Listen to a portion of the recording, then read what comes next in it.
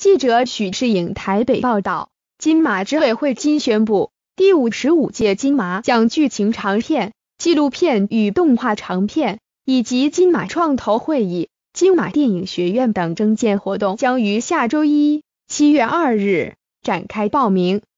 美国影艺学院今也宣布，未来获得金马奖最佳纪录片的美奖作品。将直接获得奥斯卡金像奖的候选资格，让更多优秀的华语纪录片被国际看见。金马奖自一九六二年创办至今已迈向第五十五届，不仅是华语影坛历史最悠久的电影奖项，也是华语电影工作者的最高荣誉。长久以来都在努力促进华语电影的创作发展，并增加其国际能见度。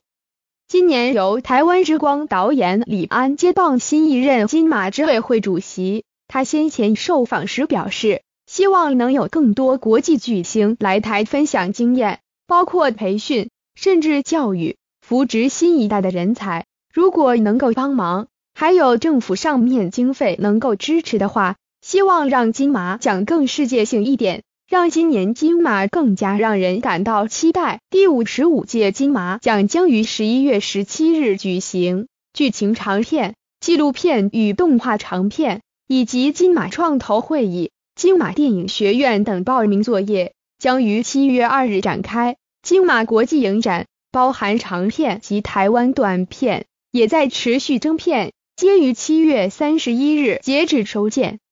执委会也提醒短片创作者，金马奖剧情短片及动画短片即将于六月三十日截止报名，尚未报名者请把握机会。更多详细内容请上金马官方网站。